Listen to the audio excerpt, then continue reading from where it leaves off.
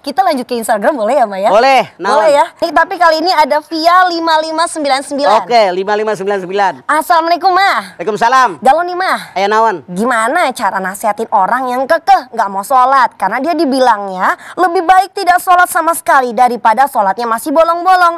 Emang sih mas, saya sendiri pun masih suka bolong-bolong. Paling tidak kan masih ada pahalanya gitu mah untuk bekal di akhirat nanti daripada nggak ada harapan sama sekali. Makasih mah.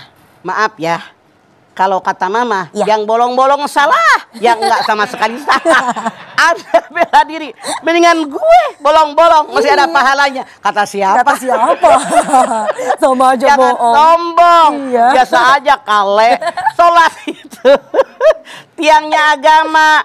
Kalau sholat dikerjakan yang lima akan berdiri tuh tiang nih. Nih kan yang namanya orang ini pakai tiang. Iya. Kalau nggak ada tiang kan diri. Iya. Kalau coba kalau tiangnya jomplang cuman tiga, cuman dua, Oh, ajeg nggak? Diri nggak? Enggak lah. Kagak. Makanya lu jangan bela diri. Mendingan gue kagak sempurna juga lima ada pahalanya kata siapa Iya, ya Allah. pokoknya mamah mengajak diri mamah anak-anak mamah keluarga RMD ini semuanya yuk kita pada sholat jangan saling menyalahkan karena sholat ini adalah merupakan fardu ain. Fardu ain itu kalau kita mengerjakan dapat pahala kalau kita meninggalkan yang dosa kita bukan orang lain.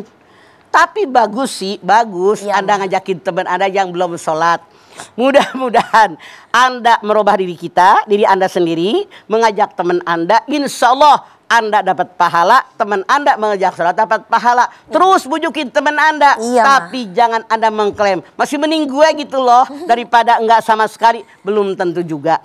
Kita jangan merasa kita lebih baik, boleh jadi kita merasa baik di hadapan Allah belum tentu. Iya mah, masya Allah. Nggak? Di hadapan Allah tentunya masih banyak yang lebih sempurna dibanding kita. Betul. Walaupun diri kita udah merasa yang paling baik. Tapi wal takum minkum ummatu yad'una ilal khair wa ya'muruna bil ma'ruf wa yanhauna 'anil munkar ulaika humul muflihun.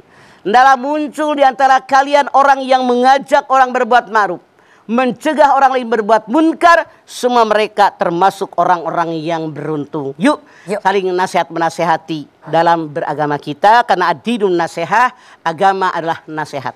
Baiklah, kalau gitu nanti kita lanjutin lagi ya Maya. Boleh. Masih di tema dunia hanyalah persinggahan menuju akhirat.